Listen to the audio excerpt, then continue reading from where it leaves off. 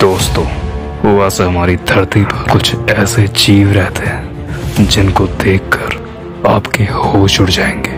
दोस्तों, इस वीडियो के आखिरी तक बने रहिए, क्योंकि आज हम आपको कुदरत के कुछ ऐसे जीवों के बारे में बताने जा रहे हैं, जिसे देखकर आपके पसीने छूट जाएँगे।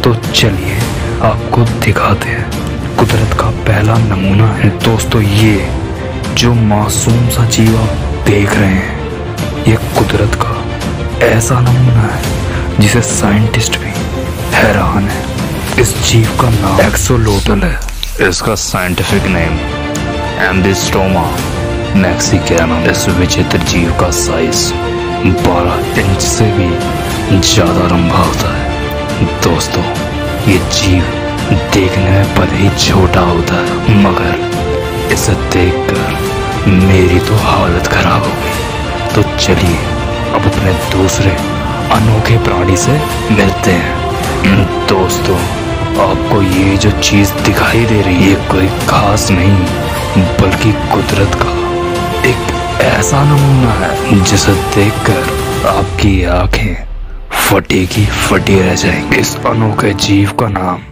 द स्ट्रेंज लीफ सी है। ये जीव ज़्यादातर ऑस्ट्रेलिया में देखने को मिलता है। वैसे तो ये जीव सी हॉर्स मिलता जुलता और इसकी बॉडी का कलर येलो होता है। तो चलिए आगे बढ़ते हैं। अब अपने तीसरे जीव पर नज़र डालते हैं।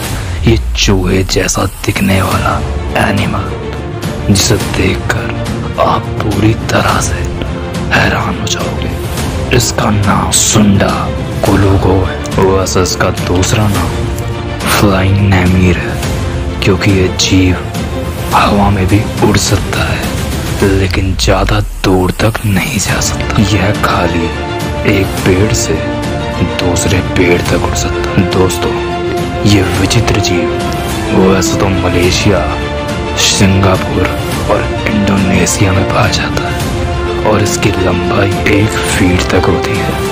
और इसका वज़न दो किलो तक होता है। दोस्तों कैसा लगा आपको इस छोटे विचित्र प्राणी से मिलकर? दोस्तों आइए अब अपने चौथे विचित्र जीव से मिलते हैं जिसे मिलने से पहले आप हमारे चैनल को सब्सक्राइब कर दीजिए। तो हमारे चौथे जीव का नाम है कॉम जेलीफिश। दोस्तों ये पानी की गहराइयों में पाई जाती है और इसका साइज़ एक इंच से लेकर पाँच इंच तक और इसका साइंटिफिक नेम सेटिनो पोरा है। ये इतनी विचित्र और खतरनाक है। आप इससे दूर ही रहे। तो तभी आपके लिए अच्छा होगा दोस्तों, आपको इन चारों विचित्र जीवों में से कौन सा जीव सबसे ज़्यादा अच्छा लगा? हमें ज़रूर बताएँ। और ऐसे ही कुछ रोचक वीडियो हमारे चैनल को सब्सक्राइब